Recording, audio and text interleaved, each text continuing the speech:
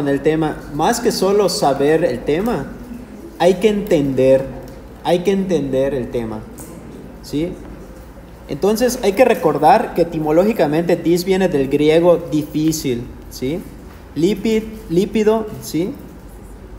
Pues es de un tipo de, de molécula, ¿no? Y a relativo a, ¿sí? Es una alteración del transporte de los lípidos, sea porque aumenta su síntesis o disminuye su degradación de manera general.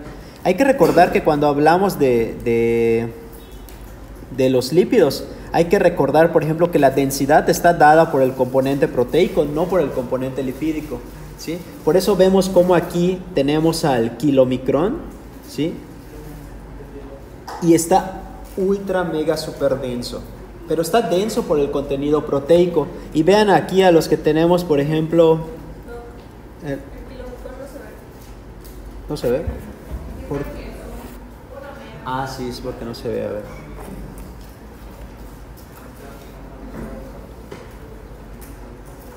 A ver, creo que... Ah, creo que este es el tamaño más idóneo.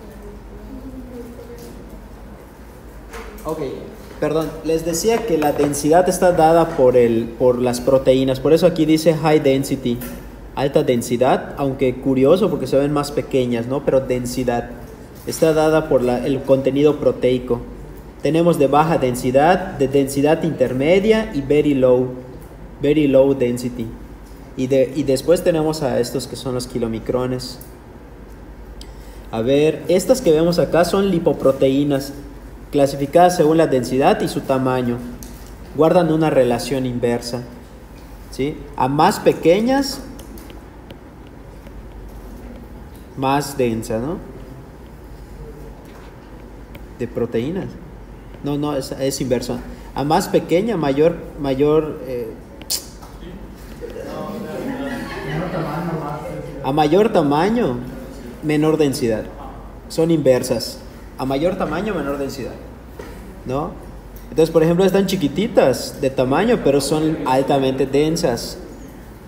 Entonces tenemos que las lipoproteínas, ¿qué son? Porque ya, ya estamos hablando de, de dislipidemias, ¿no? Las lipoproteínas son macromoléculas, son esféricas, son complejas. ¿Y qué las conforman? O sea, una lipoproteína, ¿qué la conforma? O sea, estas que están aquí, ¿de qué se conforman? Están conformadas por lípidos, también colesterol, bueno, tipos de lípidos, colesterol, triglicéridos, fosfolípidos y también tiene proteínas.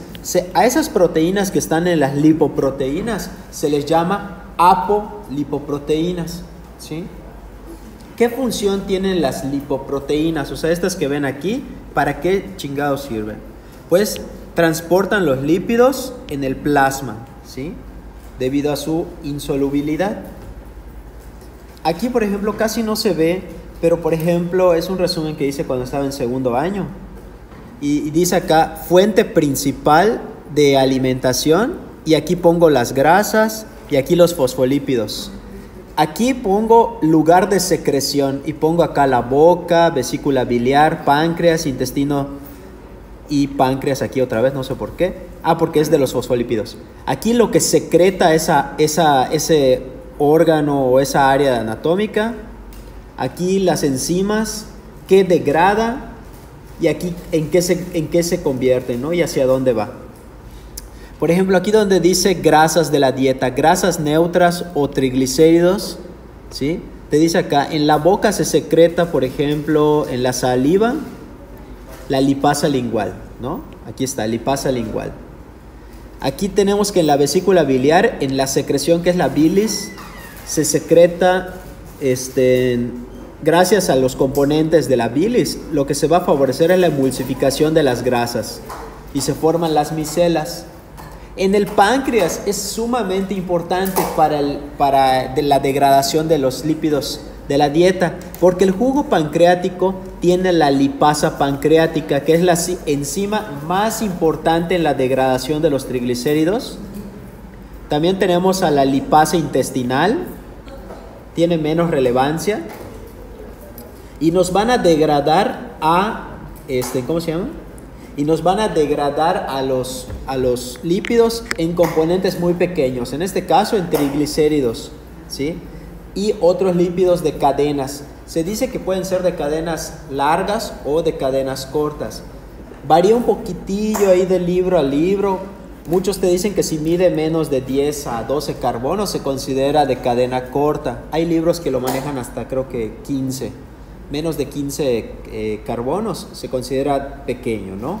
Más de eso se considera grande. Si son grandes van a vía linfática, si son pequeños van a la sangre directamente. No, te vas, no vas a meter a la sangre directamente algo que esté grandísimo, ¿no? Para que te dé un trombo, una placa, una tontera de esas. Ok. Eh, y ya, eso es como lo importante. Entonces hay dos vías que tenemos que conocer. Las clasifican o se dividen como vía endógena del metabolismo lipídico y vía exógena del metabolismo lipídico. ¿Sí? Según la fuente de, obtención del colesterol y triglicéridos es como se dividen en endógenas o exógenas. Las exógenas son a través de la dieta y las endógenas son propias o en el interior de nuestro organismo. Aquí en esta imagen del Harrison, a ver, si se ve?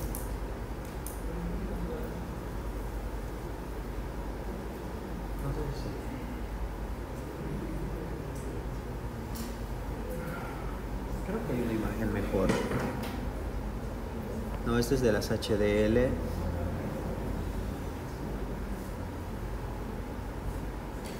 Aquí está. Ok, si nos vamos en donde dice exógenas, quiere decir que es obtenida de la dieta, ¿no? Entonces, por ejemplo, tenemos obtenido de la, de la dieta, perdón, los lípidos alimentarios, ¿sí? Este, gracias, gracias a la secreción biliar se puede eh, separar en componentes más pequeños, se favorece su digestión, ¿sí? Vamos a tener, por ejemplo, los kilomicrones. Estos van a entrar a los capilares. Los capilares van a tener a la lipoproteína lipasa, que va a degradar en ácidos grasos libres, free fatty acids, ácidos grasos libres, que van a utilizarse en el músculo o van a almacenarse, ¿sí? Luego nos van a, eh, ¿qué nos va a quedar después de que la lipoproteína lipasa actúe? Nos van a quedar remanentes de kilomicrón. Estos van a ir al hígado y aquí es cuando interviene la vía endógena, ¿sí? Porque del hígado van a salir unos que se llaman LDL, ¿sí? Lipoprotein, este, low density lipoprotein, lipoproteínas de baja densidad. Estas pueden ir a los tejidos para, y utilizarse para formar colesterol, entre otros. Este, que otra. A su vez, eh, el hígado te va a dar también las BLDL, ¿sí? que también van a pasar en los capilares y la lipoproteína lipasa va a ser lo mismo. ¿sí? Luego, ¿qué va a pasar después de la lipoproteína lipasa? La IDL y, de la IDL se puede convertir a HDL o hacia LDL, etc. Aquí tenemos, por ejemplo, el metabolismo solo de las LD, HDL, que son High Density Lipoprotein o eh, lipoproteína colesterol bueno, ¿no? Así le llaman. Este, puede ser que directamente el hígado nos produzcan las HDL, se les llama HDLs nacientes, ¿sí? Luego las BLDL le van a dar al LCCAT, ¿sí? Que no me acuerdo qué significa.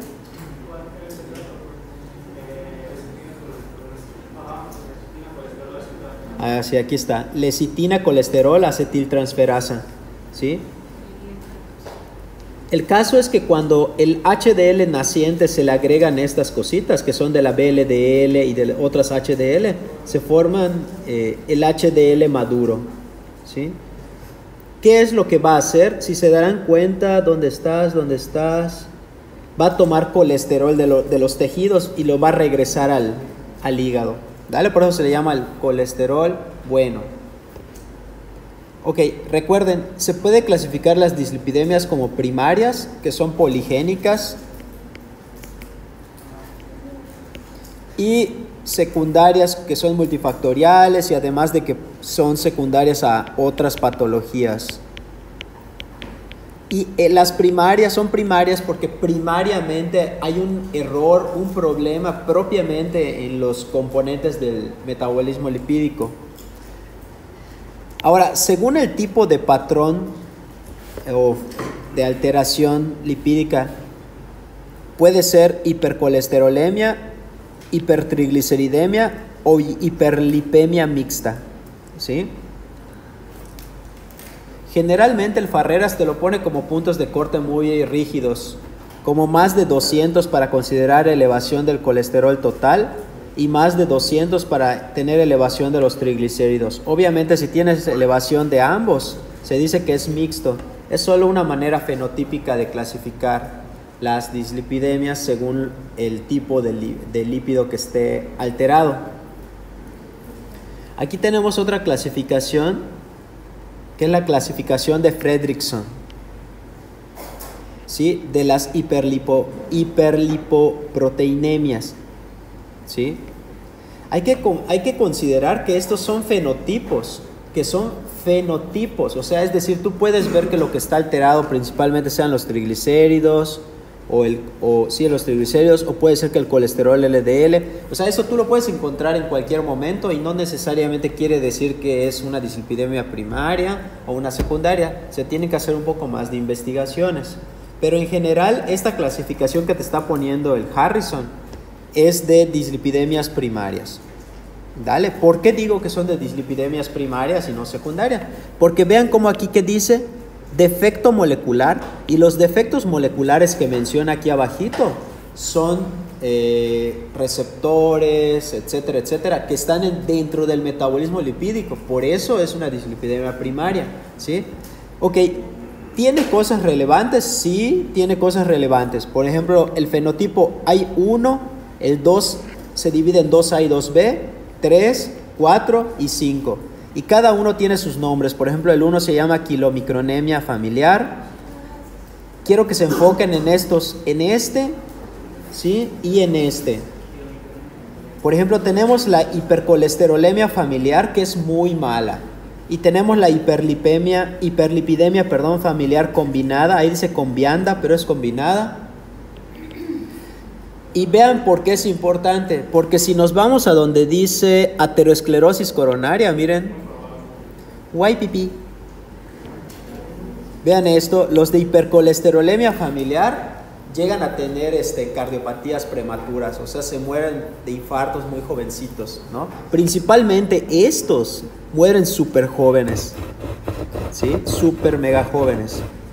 Ahora vámonos a la hipertrigliceridemia familiar, que lo que te eleva principalmente son triglicéridos, ¿no? Igual a kilomicronemia. Y vean la pancreatitis, qué riesgoso es para estas, para la 1 y para la 5. ¿Con cuánto se considera un factor de riesgo para pancreatitis? No, más. ¿Qué dice el Farreras? Pues miren, me acuerdo que el Farreras decía a partir de 500, pero la mayoría de los libros lo consideran así inequívocamente, oye, ¿por qué tienes eso en tu piel? Inequívocamente, más de mil es ya. O sea, más de mil, más de mil es muy malo, ¿eh? Muy, muy, muy, muy malo. Alto riesgo de desarrollar pancreatitis. ¿Cuál es la principal causa de pancreatitis?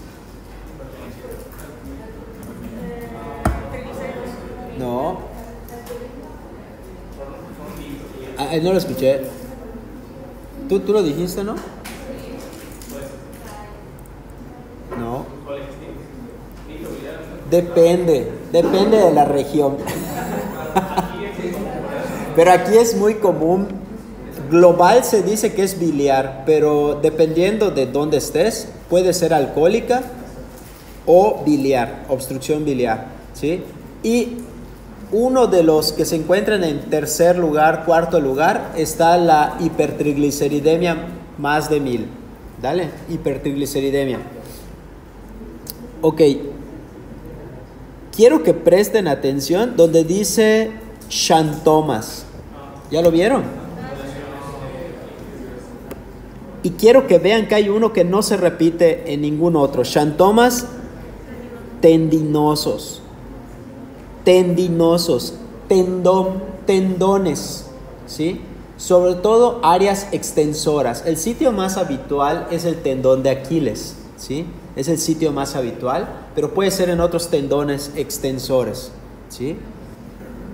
Y ahora vean los que dicen la palabra erupción. Eruptivos hace alusión a triglicéridos. triglicéridos.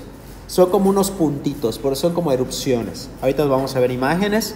Vean el aspecto del plasma lechoso, lechoso. Cuando dice aspecto lechoso hace alusión a triglicéridos. ¿sí? Eh, otras cosas importantes. Miren, es muy importante que cuando ustedes revisan a un paciente, si el paciente tiene esas erupciones o los tiene alrededor de los ojitos, que ahí cambian el nombre de esos eh, shantomas, se llaman chantelasmas, creo que no sé si se pronuncia chantelasmas, no sé, pero se escribe chantelasmas. ¿Sí? ¿Qué es lo que quiero que piensen cuando ven un paciente que tiene chantelasmas o tiene estas erupciones en los tendones? Lo que deben de suponer es que probablemente el paciente tenga una dislipidemia primaria, probablemente, ¿sí? Es lo más probable. Es lo que se les debe de venir a la mente. Ahora, esto es una cuestión de entendimiento. Esto que dice acá de efectos moleculares, ¿qué son todos estos que están acá? ¿Para qué sirven? algunos son enzimas, otros son receptores, moléculas que están en la superficie de, de alguna estructura, etcétera, ¿no?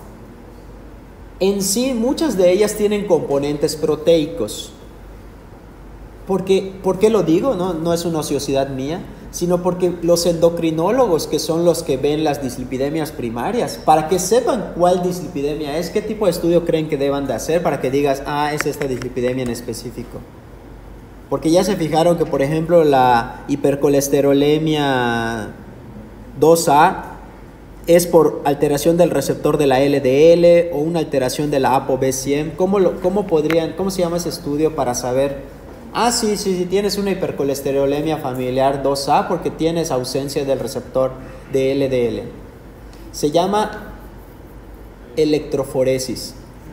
Electroforesis. Agarran a las lipoproteínas o vamos, agarran el plasma y le hacen una electroforesis para saber qué proteínas tiene ese plasma y obviamente ven si no hay alguna de estas que están observando. ¿Por qué lo digo? Porque ustedes como médicos tienen que saber qué estudio se tiene que hacer para saber, oye, ¿sabes qué? Tienes esta dislipidemia tipo no sé qué cosa. Es una electroforesis. Para serles franco, no lo solicitan habitualmente los médicos generales, habitualmente lo solicita un endocrinólogo. ¿Sí? Entonces, clasificación de Frederickson. Cosas importantes, ¿cuáles tienden a aterosclerosis acelerada? Cuáles tienden a pancreatitis, cuál te da xantomas tendinosos, ¿sí? Miren, aquí tenemos, por ejemplo, un, un esquema. Aquí tenemos una célula intestinal con sus microvellosidades, aquí es la luz intestinal, y aquí vemos cómo se degradan eh, los triglicéridos, entra al, al enterocito, y se acuerdan que ahí nacen los kilomicrones, ¿sí? que pueden pasar a las vías linfáticas. Pues cuando hay una mutación o ausencia del ApoB48, ahí está, se genera la abetalipoproteinemia. Cuando hay un defecto genético que afecta ¿sí? a la lipoproteína lipasa que estaba en los capilares, ¿sí? o a este, esta molécula que se llama C2, te va a dar una kilomicronemia familiar. Si afecta el ApoE, si el ApoE, perdón, se, se, genera la disbeta lipoproteinemia familiar. Miren, si les soy franco, yo no voy a preguntar eso en el examen, pero digo, tan siquiera que vean que sí hay como que alteraciones puntuales que condicionan ciertas dislipidemias primarias. ¿sí?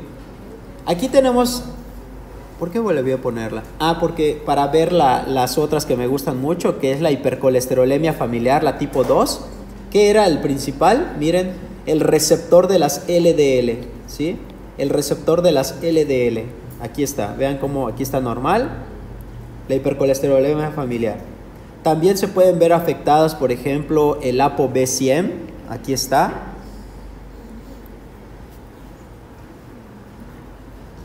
en hipertrigliceridemia familiar, ApoB100.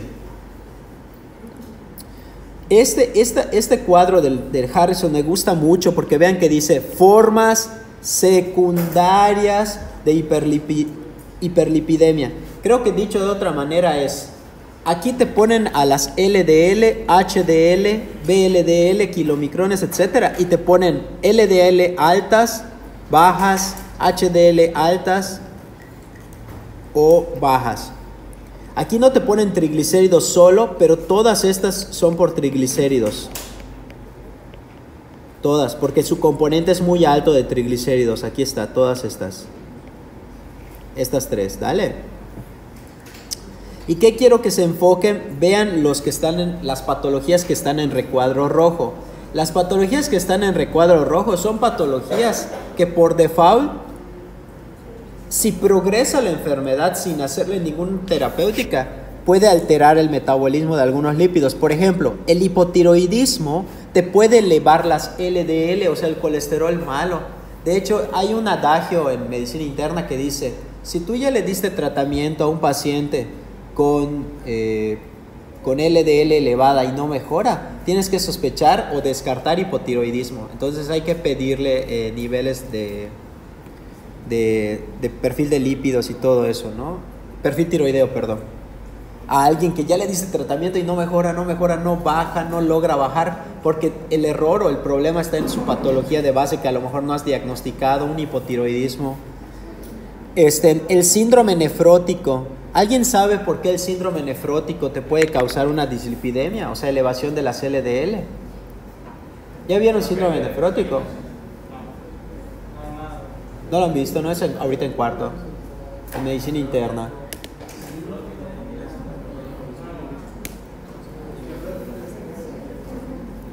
Bueno, el síndrome nefrótico es un síndrome caracterizado por estas tres cosas.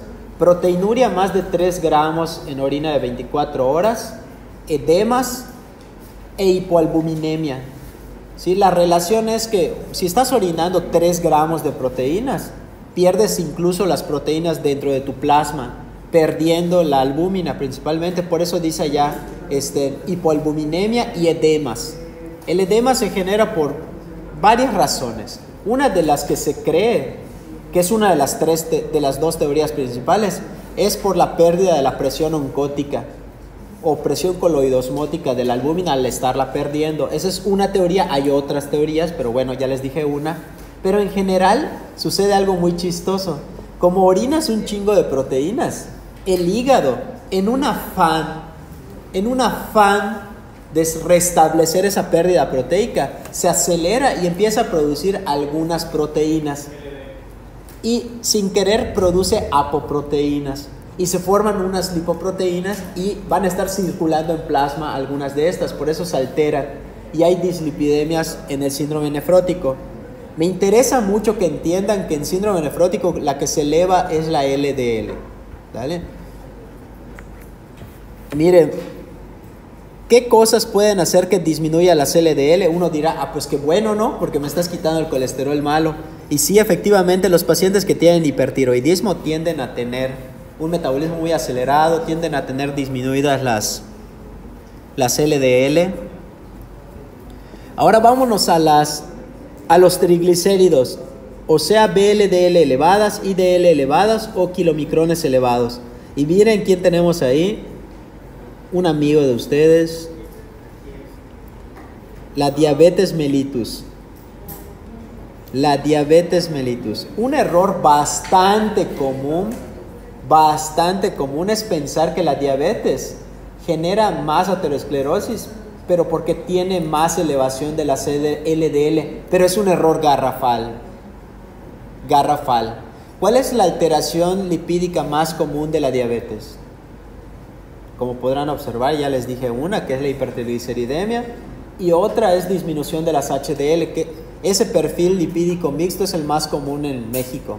Tener baja las HDL y tener alto los triglicéridos, ese es el más común.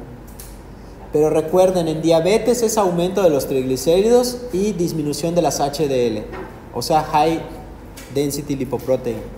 ¿sí? No así en la elevación de las LDL, pero si leyeron el Harrison así detenidamente en tercer año, decía, Si bien es cierto que la diabetes esa es el principal alteración lipídica, las LDL de los pacientes diabéticos no son más, pero son más aterogénicas, son más pequeñas y son más aterogénicas, lo dice el Harrison. O sea, aunque son menor cantidad, tienden a ser más pequeñitas, pero se les pegostean más, pegostean más en las paredes de los vasos de los pacientes diabéticos, por eso mueren más. Bueno, por eso, por eso tener diabetes se considera un factor de riesgo para cardiopatía, ¿no? O sea, sí, cardiopatía. Ok. Entonces, triglicéridos, ¿qué más elevan los triglicéridos? Presten atención, está bien padre, miren. Hepatitis, alcoholismo, falla renal, sepsis, el estrés, el estrés, Cushing, estar embarazada, tienden a elevar triglicéridos. Ahora, si nos vamos a las HDL, o sea, el colesterol bueno, ¿qué cosas te elevan las HDL? O sea, ¿qué, qué es bueno que me eleve el colesterol bueno? El alcohol, papás. Pero en una cantidad moderada. Son como las papas, no puedes probar solo una, ¿no? O sea,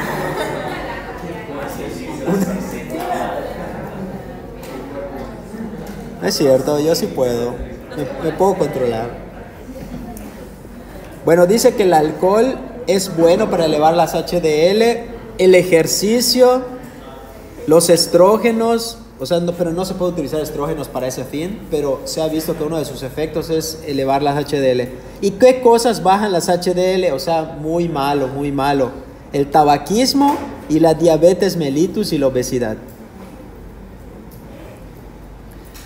Interesante porque vean que dice acá, fármacos como los esteroides, o sea, glucocorticoides, y los beta bloqueadores pueden disminuir las HDL, lo cual es muy malo.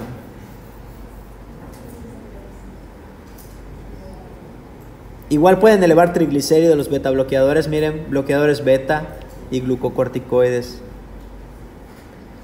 Ok, en cuanto a epidemiología, ¿qué hay que saber? ¿Cuáles creen que sean más comunes, las secundarias o las primarias?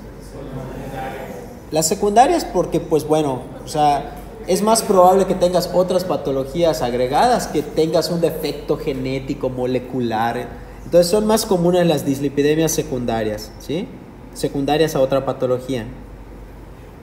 Sin embargo, si hablamos de las dislipidemias primarias, Dentro de las más comunes tenemos a la hiperlipemia familiar combinada, que es una mixta en realidad, una, ¿sí? Mixta. Y también tenemos nada despreciable por, otro, otro, por otra parte, la hipercolesterolemia heterocigota. Entonces vean como de las primarias yo les estoy dando dos las de la más común hiperlipemia familiar combinada, que uno de cada 100. Ah, o sea que nada despreciable. Y de la hiper, hipercolesterolemia familiar, o sea, la tipo 2, la heterocigota es la que le sigue. Pero por favor, vean la probabilidad de que te dé hipercolesterolemia tipo 2, pero de tipo homocigota. Uno por cada millón. Pero les voy a decir algo. Ese uno por cada millón le da infartos cuando es un niño. Infartos, este, insuficiencia arterial periférica. O sea, es un niño que está cañón porque, o sea, te imaginas a un niño trombolizándolo y, o sea, no sé, muy difícil. Este, las hipertrigliceridemias solas no son tan comunes, miren, las hipertrigliceridemias solas. Algo que se descubrió hace poco es que los triglicéridos por sí solos ya se considera un factor de riesgo independiente para enfermedades cardiovasculares. Tener más de 500 predispone a pancreatitis, pero ya más de 1000 se considera un factor de riesgo establecido para pancreatitis aguda. Aquí está lo que estábamos preguntando hace rato. El colesterol LDL es el lípido más relacionado a enfermedad cardiovascular. Esto es pregunta de examen. ¿Cuál se considera un factor de, factores de riesgo modificables y factores de riesgo no modificables. Dentro de los factores de riesgo modificables, puedes modificar fumar, puedes modificar tu hipertensión, tu dislipidemia y tu diabetes si te controlas, haces las cosas bien. Pero lo que no puedes modificar ya te llevó la trampa por eso. Es una vez que te dicen, eres... Ah, bueno, pero la diabetes lo consideran como, como ambos. Historia familiar, el género masculino obviamente y la edad. No son modificables. Ok, etiopatogenia y fisiopatología. Ok, ¿cuál es el origen? Puede ser un defecto genético conocido como en el caso de las dislipidemias primarias. Puede ser un exceso en tu dieta. Puede ser secundario una enfermedad concomitante.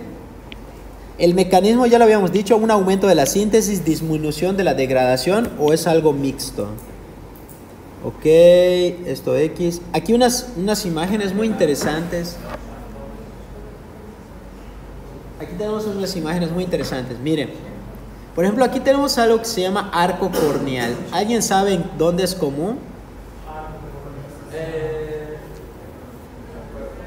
¿Alguien había visto esto? Bueno, para el que no sepa qué es, es esto.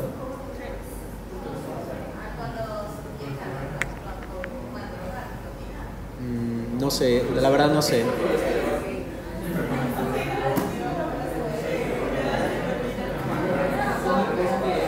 Ah,